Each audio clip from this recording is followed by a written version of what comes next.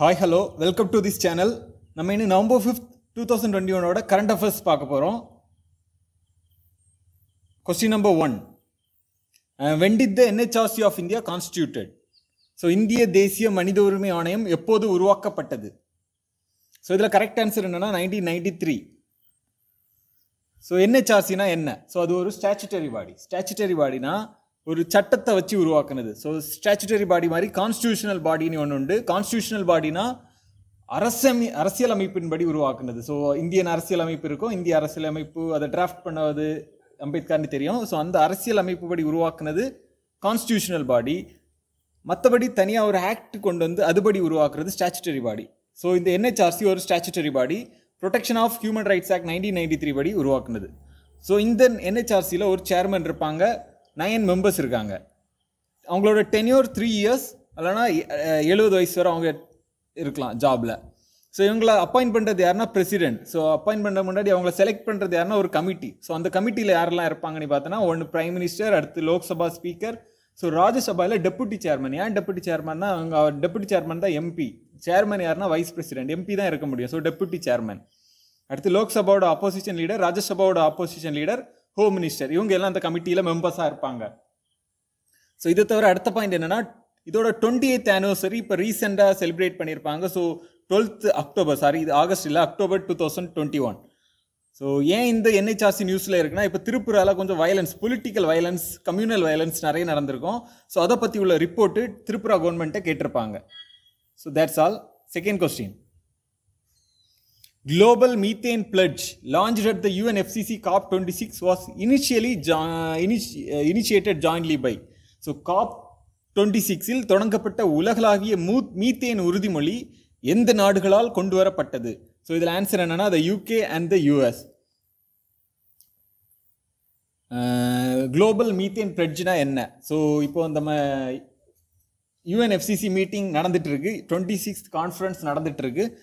So அதில் என்னென்னா யூகேயும் sorry யூஎஸும் யூகேயும் சேர்ந்து ஒரு குளோபல் மீத்தேன் பிளட்ஜினி ஒன்று கொண்டு வந்திருப்பாங்க. ஸோ அதுபடி அதை இது வரைக்கும் நைன்டி கண்ட்ரி சைன் பண்ணியிருக்காங்க நவம்பர் தேர்ட் கணக்குப்படி. ஸோ இந்தியா ரஷ்யா சைனா எல்லாம் இன்னும் சைன் பண்ணலை. ஸோ இதோட எய்ம் என்னன்னு பார்த்தோன்னா மீத்தேன் எமிஷன் இருக்குல்ல மீத்தேன் வெளியாகிறது. ஸோ அது நேச்சுரலாகவும் வெளியாகுது ஆர்டிஃபிஷியலாகவும் வெளியாகுது. ஸோ மீத்தேன் வெளியாகிறத குறைக்கணும். ஸோ ஏன் குறைக்கணும்னு இருக்குது பார்ப்போம். ஸோ இப்போ ரெண்டாயிரத்தி இருபது லெவலை விட முப்பது பர்சன்ட் குறைக்கணும். ஸோ ரெண்டாயிரத்தி இருபது லெவலில் மீத்தேன் எவ்வளோ எமிட் ஆச்சோ அதை விட முப்பது பர்சன்ட் குறைக்கணும். என்னைக்குள்ளே குறைக்கணும்? ரெண்டாயிரத்தி முப்பதுக்குள்ளே குறைக்கணும். அதான் இதோட டா எய்ம் டார்கெட் ஸோ இப்போ மீத்தேன்னு பார்த்தோன்னா அது ஒரு green house gas green house gas அதாவது பூமி வெப்பமயமாவதற்கு மெயின் காரணம் ஒன்று க்ரீன் ஹவுஸ் கேஸ் இருக்குது ஸோ அதில் நிறைய க்ரீன் ஹவுஸ் ஃபஸ்ட்டு நிறைய இருக்கிறது சிஓ டூ செகண்ட் நிறைய இருக்கிறது மீத்தேன் ஸோ மீத்தேனை குறைக்கிறது இதில் ஒரு மாரி இம்பார்ட்டண்ட்டாக இருக்குது ஸோ இதை தவிர மீத்தேன் என்னது? ஒரு ஃப்ளேமபிள் ஸோ முன்னாடி நம்ம வீட்டில் ஸோ ரூரல் ஏரியாவில் போனால் தான் அந்த கவு டங்கு கவு டங்கை கலக்கி அதுலேருந்து கேஸ் மீத்தேன் கேஸ் எடுத்து அதுலேருந்து ஸ்டவ் ரன் ஆகும். ஸோ அதெல்லாம் முன்னாடி இருந்து இப்போ சில இடத்துல இருக்குது ஸோ அதெல்லாம் ஃப்ளேம் அது ரொம்ப flammable methane question number third so purchasing managers index was release by PMI கொள்முதல் நிர்வாக குறியீடு. அதோட டிரான்ஸ்லேஷன் கொள்முதல் நிர்வாக குறியீடுன்னு போட்டிருக்காங்க. ஸோ எந்த அமைப்பால் வெளியிடப்படுகிறது? ஸோ இது ஆன்சர் என்னென்னா ஐஹெச்எஸ் மார்க் ரீட் தான் இதை வெளியிடுறாங்க. ஸோ இந்த நேம் ஒன்று ஞாபகம் வச்சிடணும். ஸோ இது கொஞ்சம் இம்பார்ட்டன்ட் இன்டெக்ஸ் ஏன்னா ஸோ இது எப்போனா ஒவ்வொரு மந்த்லி ரிலீஸ் பண்ணுவாங்க. ஸோ இப்போ release at the start of the month so இது நவம்பர் மந்தா ஸோ ஆகஸ்ட் மந்த் உள்ளது நவம்பர் ஃபஸ்ட்டு செகண்டுக்குள்ளே ரிலீஸ் பண்ணிடுவாங்க ரெண்டு இதாக ரிலீஸ் பண்ணுவாங்க. உற்பத்தி துறை மேனுஃபேக்சரிங் தனியாக சர்வீஸ் செக்டருக்கு தனியாக ரிலீஸ் பண்ணுவாங்க. ஸோ இதில் நம்பர் ஜீரோ டு ஹண்ட்ரட் தான் இருக்கும். So zero to hundred men mention பண்ணியிருப்பாங்க அந்த நம்பர் வச்சு தான் அதை முடிவு பண்ணுவாங்க. ஸோ இப்போ ஐம்பதுக்கு மே பில்லோ ஐம்பதுன்னு போட்டாங்கன்னா எக்கனாமி கம்மி ஆகுதுன்னு அர்த்தம். ஸோ எபோ ஐம்பதுனா எக்கனாமி வளர்ந்துட்டு இருக்குன்னு அர்த்தம். ஸோ இதான் ஐஹெச்எஸ் மார்க் வித் பற்றி உள்ளது. இந்த இண்டெக்ஸ் ஏன் முக்கியம்னா வேறு எந்த வேறு எந்த இண்டெக்ஸ் வர்றதுக்கு முன்னாடி முதல்ல வர்றது இந்த இண்டெக்ஸ் அதனால் என்னென்னா அதாவது எக்கனாமி எப்படி ரன் ஆகுதுன்னு கணிக்கிறது ஷேர் மார்க்கெட்டை முடிவு பண்ணுறது ஸோ இதெல்லாம் இந்த இந்த பிஎம்ஐ இண்டெக்ஸ் முடிவு பண்ணுது.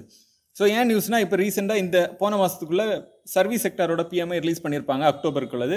Fifty eight point four percent ஃபிஃப்டிக்கு மேலே. ஸோ அது எக்ஸ்பேன்ஷன் பொருளாதாரம் வளர்ந்துட்டு இருக்க நிலையில் இருக்குது ஸோ இதெல்லாம் பொதுவாக fifty one forty eight forty nine அந்த ரேஞ்சில் தான் இருக்கும். ஸோ இது ஃபிஃப்டிக்கு மேலே. ஸோ இது ஜாஸ்தி. So okay next question question number four Guru Ghasidas national park is located in so Guru Ghasidas தேசிய பூங்கா எங்கு அமைந்துள்ளது? எந்த மாநிலத்தில்? ஸோ ஆப்ஷன் ஒன் சத்தீஸ்கரில் இருக்குது ஸோ இது ஏன் நியூஸில் வந்திருக்குன்னா நேஷ்னல் டைகர் கன்சர்வேஷன் அத்தாரிட்டின்னு ஒரு அத்தாரிட்டி இருக்குது ஸோ டைகர் ரிசர்வ்னு சொல்லுவாங்க. டைகர் ரிசர்வ் ஒவ்வொரு இடத்துல இருக்குது டைகர் ரிசர்வுக்கு அனுமதி அப்ரூவ் கொடுக்குறது இந்த national tiger conservation authority so Chhattisgarh government கேட்டதுபடி இந்த குரு காசிதாஸ் நேஷனல் பார்க்கையும் தமோர் பங்களா வைல்ட் லைஃப் செஞ்சுரி சேர்த்து ஒரு டைகர் ரிசர்வ் ஆக்கிறதுக்கு அனுமதி கொடுத்துருப்பாங்க. யார்? என்ஹெச் என்டிசிஏ அனுமதி கொடுத்துருப்பாங்க. ஸோ என்டிசிஏனா என்ன? ஸோ என்டிசிஏனா என்ன? So national tiger conservation authority அதுவும் ஒரு ஸ்டாச்சுட்டரி அத்தாரிட்டி நம்ம நேரத்தை ஏற்கனவே பார்த்தோம். நேஷனல் ஹியூமன் ரைட்ஸ் கமிஷன் ஒரு ஸ்டாச்சுட்டரி அத்தாரிட்டி அதாவது ஒரு லாபடி உருவாக்குனாங்க. Protection of human rights act nineteen ninety three அதே மாதிரி நேஷனல் டைகர் கன்சர்வேஷன் அத்தாரிட்டியும் இது கான்ஸ்டியூஷனல் பாடி கிடையாது. இது ஒரு ஸ்டாச்சுட்டரி பாடி எந்த ஆக்ட் படி உருவாக்குனதுன்னா wildlife protection act nineteen seventy two so nineteen seventy டூலே act கொண்டு வந்துட்டாங்க. நைன் டூ தௌசண்ட் ஃபைவ்ல தான் இதை உருவாக்கியிருக்காங்க. எப்படின்னா அந்த ஆக்டை அமன் திருத்தி ஸோ அதுபடி இப்படி ஒன்று கொண்டுடலான்னு திருத்தி அதுபடி இதை உருவாக்கியிருக்காங்க. ஸோ என்டிசியை கொண்டு வேணும்னு சொன்ன ஒரு ரெக்கமெண்ட் பண்ண ஒரு கமிட்டி ஸோ கமிட்டினே சொல்லலாம். ஸோ அது task force tiger task force தான் அவங்கள ரெக்கமெண்ட் பண்ணியிருப்பாங்க. ஸோ இந்த என்டிசியோட வேலை என்ன? ஸோ அவங்க அந்த ப்ராஜெக்ட் டைகர்னு ஒரு ப்ரோக்ராம் இருக்குது அதை அவங்க தான் மானிட்டர் பண்ணிட்டு இருக்காங்க மேனேஜ் பண்ணிட்டு இருக்காங்க ஸோ இந்த என்டிசியோட சேர்மன் யாருன்னு பார்த்தோன்னா மினிஸ்டர் மினிஸ்டர் எந்த minister environment forest and climate சேஞ்சுன்னு ஒரு அமைச்சகம் இருக்குது அந்த அமைச்சகத்தோட மினிஸ்டர் தான் இந்த என்டிசியில் சேர்மனாக இருக்காங்க. So question number six IUCN held its twenty sixth world conservation congress so IUCN தனது இருபத்தி ஆறாவது உலக பாதுகாப்பு மாநாட்டை எங்கு நடத்தியது? ஸோ ஆன்சர் என்னென்னா ஃபஸ்ட்டு மார்ஷைல் ஃப்ரான்ஸில் நடந்துச்சு. ஸோ இப்போது வேர்ல்டு கன்சர்வேஷன் காங்கிரஸ்னால் என்ன?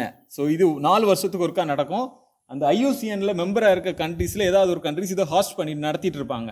ஸோ இதோட கோல் என்விரான்மெண்ட்டை கன்சர்வ் பண்ணுறது இந்த வருஷம் ஃப்ரான்ஸில் நடந்திருக்கும். ஸோ இப்போ இந்த ஐயூசிஎன் தான் இதுக்கு மெயினாக இந்த வேர்ல்டு கன்சர்வேஷன் காங்கிரஸ் நடத்துறது. ஸோ இப்போ ஐயூசிஎனை பற்றி பார்த்தோன்னா ஐயூசிஎனுக்கு full form international union for conservation of nature nineteen forty எயிட்லேருந்தே இருக்குது இதோட ஹெட் குவார்ட்டர் சுவிட்சர்லாந்தில் இருக்குது இவங்க தான் இந்த ரெட் லிஸ்ட் அதாவது என்டேஞ்சர் ஸ்பீசியஸ் வல்லரபிள் அதை பற்றி உள்ள லிஸ்ட் எல்லாம் ப்ரிப்பேர் பண்ணுறது இவங்க தான். ஐயூசிஎன் தான் ப்ரிப்பேர் பண்ணிகிட்டு இருக்காங்க.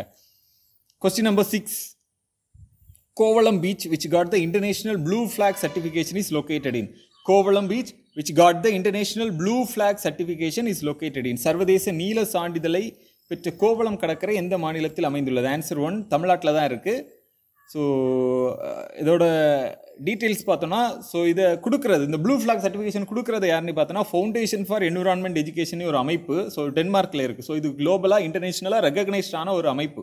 ஸோ இவங்க தான் இந்த ப்ளூ ஃப்ளாக் சர்டிஃபிகேஷனை கொடுத்துட்ருக்காங்க. ஒரு தேர்ட்டி த்ரீ இண்டிகேட்டர்ஸ் பேஸ் பண்ணி மொத்தம் எத்தனை பீச்சஸ்க்கெல்லாம் கொடுத்துருக்காங்க இந்தியாவில் இதுவரை ஹன் டென் பீச்சஸ்க்கு ப்ளூ ஃப்ளாக் சர்டிஃபிகேஷன் கொடுத்தாச்சு. அதில் ரீசெண்டாக கொடுத்தது தமிழ்நாட்டில் இருக்க கோவளம் இன்னொன்று புதுச்சேரியில் இருக்க Eden. So that's all for today thank you